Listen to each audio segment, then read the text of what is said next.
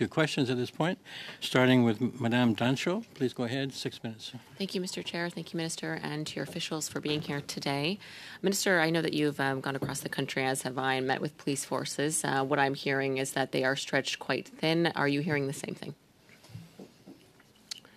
Um, thank you, Ms. Dancho. Uh, there's no doubt that we need to support law enforcement, domestic law enforcement, and one of the reasons that's one of the reasons why. So, sorry, we Minister. have what I'm uh, asking is, an have you also heard that police forces. Sorry, forces? if I could just if, if I could what just I'm asking is if you have heard that police forces are their resources are stretched quite thin. They're they're having challenges keeping up with the crime that we're seeing.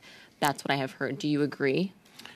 I was trying to uh, complete my answer, Well, Ms. so you could just Dancho, and, yes and no. I think I'm being responsive to your question, which is that I acknowledge that we need to support domestic law enforcement, which is what we are doing through our anti-guns and gangs uh, fund. Those resources are being transferred to provincial and territorial partners, which in turn filters through to domestic police, and we'll continue to do that. Thank you, Minister. So I would I would take that as a tacit yes. You would agree that police resources uh, are stretched thin and they require more resources. Um, we're also seeing violent crime has increased over the past seven years by 32 percent. Are you familiar with that statistic? I'm alarmed by it, which is why we can't accept the Mm. status quo. The Violent Crime Severity Index is also up 18 points, and there were more than 124,000 additional violent crimes last year than in 2015. Are you familiar with that as well? I am, which is why we presented Bill C-21.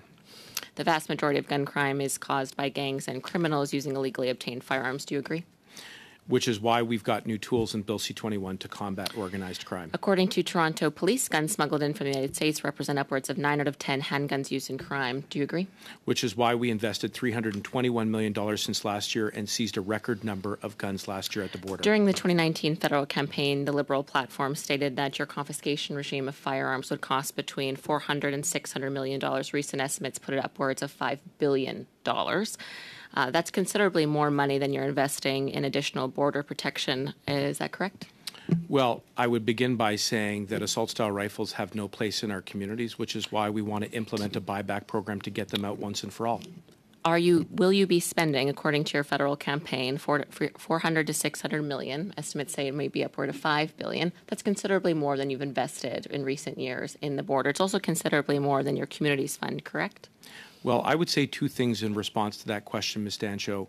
First, we plan to be very transparent about the costing around the buyback program, but I also want to be clear with you and all members of this committee that there is no way to put a price on a life lost. And all you have to do mm-hmm. is look into the eyes of any of the families who've lost somebody to an assault style rifle. I think it is very concerning that we're seeing a rise of gun violence in our cities. And as I've outlined, and, and you seem to have agreed that the the problem certainly is gun smuggling, but you're investing considerably less money in border enforcement and considerably less money in community protection, although you've acknowledged that that is the primary source of gun violence in our country. I do want to switch gears a little bit and talk about firearms owners. I am a firearm owner. Uh, we undergo rigorous licensing processes. We're trained, tested, and vetted. Would you agree? We do, and I respect law abiding gun owners. I've visited with their communities. I know that they place safety as a premium value.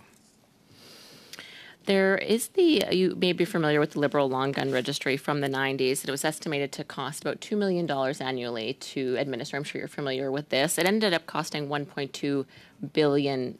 So the estimates from your government that you may be spending 400 to 600 million now estimates are saying perhaps upwards of 500 billion dollars or 5 billion dollars, pardon me. It's You didn't mean 500 billion. Five billion. Okay. Uh, well, you never know. Based on your liberal track record, there is considerable uh, questions to be had about how much you're going to be spending on the confiscation regime. So, Minister, I'm quite concerned of recent news that ha- that your government will be redirecting police resources, which we've outlined today in our conversation, are stretched quite thin, dealing with a 32% increase in violent crime since your government's been office you're planning to redirect RCMP resources and possibly other police resources to your confiscation regime. Can you comment on that? Well, I think that it's based on some false assumptions, which So is you that, won't be redirecting our RCMP resources? Well, again, if I could just be permitted to answer your question, which is a thoughtful one, um, ensuring that police services who operate within provincial boundaries have the resources necessary to enforce laws to keep our communities safe is not mutually exclusive to buying back assault style rifles. And the reason is simple those guns were designed with one purpose in mind, and that is to kill. And so we believe that by taking them out of our communities You with the buyback program with fair Minister. compensation, If I may just that we will conclude, be I would, I would urge you to reconsider redirecting police resources to your confiscation regime. I think it is reckless and will further endanger our communities, Minister. Thank you, Chair. We respectfully disagree about that.